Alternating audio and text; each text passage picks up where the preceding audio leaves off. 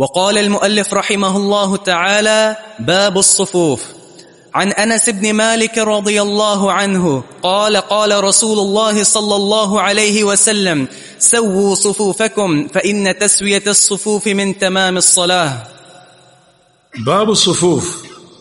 صفوف صف کی جمع ہے اور یہ عنوان ہے صف بندی نماز میں صف بندی صف بندی کی اہمیت صف بندی کا طریقہ اور صف بندی کا اجر۔ اگر اس طریقے سے جو طریقہ مصنون ہے، اس طریقے سے اگر صف بندی ہوگی، اس کا کیا ثواب ہے اور کیا اس کا اجر ہے؟ اس قسم کے مسائل باب الصفوف میں بیان ہوتے ہیں۔ جو پہلی حدیث ہے، وہ انس مالک رضی اللہ عنہ کی، اس کا موضوع یہ ہے کہ نماز میں صف بندی صفوں کا سیدھا ہونا ضروری ہے۔ نماز میں صفوں کا سیدھا ہونا ضروری ہے اور صف بندی کا اہتمام جو ہے وہ ضروری ہے۔ انس فرماتے ہیں، قال رسول اللہ صلی اللہ علیہ وسلم سب و صفوف حکم فن تصویت الصفوف من تمام صلاح صفوں کو سیدھا کرو سب و سیدھا کرو صفوں کو فعن تصویت الصفوف، اس لیے کہ صفوں کا سیدھا کرنا من تمام صلاح نماز کے تمام سے ہے۔ نماز کو مکمل کرتا ہے۔ نماز کا حسن ہے اور نماز کے ضروری آداب میں شامل ہے صفوں کا سیدھا ہونا۔ صفیں سیدھی کیسے کی جائیں؟ جو طریقہ احادیث سے ثابت ہے، وہ ہے قدم سے قدم ملا کر اور کندھے سے کندھے ملا کر۔ امام بخاری رحمۃ اللہ علیہ نے صحیح بخاری میں باب قائم کیا باب الزاق المنکب بالمنکب والقدم بالقدم۔ باب ہے نماز میں کندھے سے کندھا چپکانا اور قدم سے قدم چپکانا، الزاق۔ اتنی عربی تو آپ جانتے ہوں کہ الزاق یعنی چپکانے کا معنی، بالکل جوڑنا۔ کندھے سے کندھا چپکانا اور قدم سے قدم چپکانا۔ اس کے تحت وہ انس بن مالک کی روایت لائے ہیں۔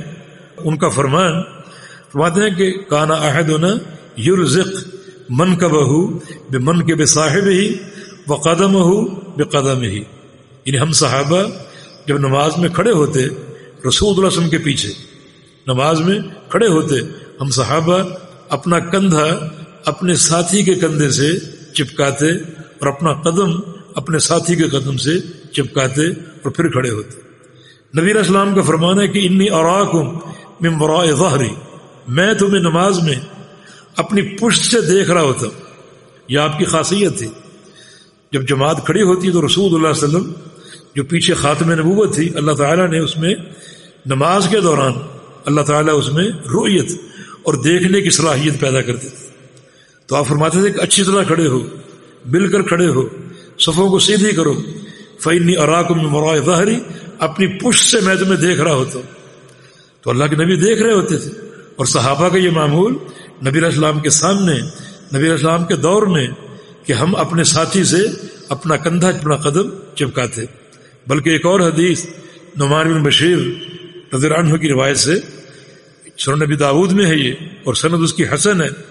کہتے ہیں کہ فرعیت الرجل یلزق منکبہ بمن کے صاحب ہی رکبت ہو برکبت صاحب ہی و کعبہ بکعب ہی نماز میں میں صحابہ کی صف دیکھتا اور میں دیکھتا کہ صحابہ اپنا کندھا اپنے ساتھی کے کندھے سے چپکائے کھڑے ہیں اور اپنا گھٹنا اپنے ساتھی کے گھٹنے سے چپکائے کھڑے ہیں اور اپنا ٹخنا اپنے ساتھی کے ٹخنے سے چپکائے کھڑے ہیں۔ سندر ابو داود میں نعمان میں بشیر کی روایت ہے کہ صحابہ کی صف بندی کیسی تھی۔ آپ یہ پریشان ہو گئے کچھ لوگ کہتے ہیں یہ ممکن نہیں انہیں یعنی کندھے کا کندھے سے چپکنا ہے اور گھٹنے کا گھٹنے سے اور ٹخنے کا ٹخنے سے یہ ممکن اس لیے نہیں ہے کہ ہمیں صف بندی صحیح نہیں آتی۔ ہم جب صف میں کھڑے ہوتے ہیں تو میری کوشش یہ ہے کہ دائیں بھی میں ملوں اور بائیں بھی میں ملوں۔ ادھر بھی میں پاؤں جوڑوں، ادھر بھی میں پاؤں جوڑوں۔ ادھر بھی میں کندھا ملاؤں، ادھر بھی میں کندھا ملاؤں۔ تو اس طرح تو ممکن نہیں۔ نہیں، میرا فرض یہ اور آپ کا فرض یہ آپ صف میں آئے، آپ سے پہلے جو ساتھی کھڑا ہے، اس سے آپ نے ملنا ہے۔ اور جو آپ کے بعد آئے گا، وہ آپ سے ملے گا۔ ان دونوں طرف آپ ہی ملیں، یہ طریقہ صحیح نہیں۔ اور اس طرح واقعی صف بندی نہیں ہوگی۔ لیکن آپ سے قبل جو کھڑا ہے، دائیں طرف کھڑا ہے یا بائیں طرف کھڑا ہے، اس سے آپ نے ملنا ہے۔ اور جو آپ کے بعد آئے گا، اس نے آپ سے ملنا ہے۔ جو اس کے بعد آئے گا، اس نے اس سے ملنا ہے۔ اس طرح اگر سب صف بندی کی فقہ کو سمجھیں اور اس کی کیفیت کو سمجھیں، تو وہ صف بندی جو رسول اللہ وسلم کے دور میں تھی، وہ آج بھی ممکن ہے۔ نبی اسلام کا ایک فرمان ہے، فرمایا کہ اللہ تصفون کما تصف الملائے کا رب تم ویسی صفیں کیوں نہیں بناتے جیسی فرشتے بناتے ہیں اپنے رب کے پاس؟ کچھ فرشتے آسمانوں پر نماز پڑھتے ہیں۔ فرشتوں کی مسجد بیت المعمور۔ ہر فرشتے کی ایک ڈیوٹی۔ حدیث میں آتا ہے کہ کچھ فرشتے قیام میں کھڑے وہ ہمیشہ قیام میں رہیں گے۔ کچھ فرشتے رکوع میں، کچھ سجدے میں، وہ ہمیشہ رکوع سجود میں رہیں گے۔ اور کچھ فرشتے روزانہ بیت المعمور میں نماز پڑھتے ہیں۔ فرمایا کہ ستر ہزار فرشتے ایک دن نماز پڑھتے ہیں۔ اور جس نے ایک دن پڑھ لی، اس کی قیامت تک باری نہیں آئے گی۔ یہ فرشتوں کی تعداد فرمایا کہ تم صف بندی ویسی کیوں نہیں بناتے جیسے فرشتے اپنے رب کے پاس بناتے۔ صحابہ نے عرض کیا کہ ہم نے فرشتوں کی صف بندی نہیں دیکھی۔ آپ بتائیے، ان کی صف بندی کیسی ہے؟ تو رسول اللہ علیہ وسلم نے فرمایا یو تمون صف الاول فالاول ثم یتراسون کہ فرشتے پہلے اگلی صفوں کو پورا کرتے ہیں، اور جب صف میں کھڑے ہوتے ہیں تو ساتھ چپک کر کھڑے ہوتے یہ تو راسون قرآن پاک میں بنیان مرسوس سیسا پلائی ہوئی دیوار۔ سیسا پلائی ہوئی دیوار کی طرح کھڑے ہوتے کہ درمیان میں کوئی شگاف نہ ہو، کوئی فاصلہ نہ ہو، اور کوئی وقفہ نہ ہو۔ یہ مصنون صف بندی ہے۔ اور ایک حدیث حضیفہ میں یمان کی روایت سے ہے۔ بات ہے کہ رسول اللہ صلی اللہ علیہ وسلم نے فرمایا فضل نہ اللہ بصلاح ہم سابقہ امتوں پر تین فضیلتیں دیے گئے ہیں۔ اللہ نے ہمیں تین اسپیشل چیزیں دی جو سابقہ کسی امت کو نہیں دی۔ ان میں سے ایک چیز کیا ہے؟